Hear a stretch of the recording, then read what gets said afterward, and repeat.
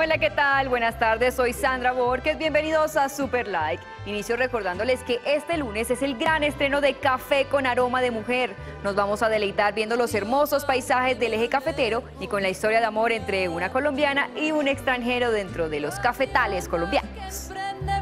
Seguimos hablando de nuestras producciones y en especial de una pareja que saltó de la realidad a la pantalla. Se trata de Laura de León y Salomón Bustamante. No se pierdan mañana, gran final de Paquerete.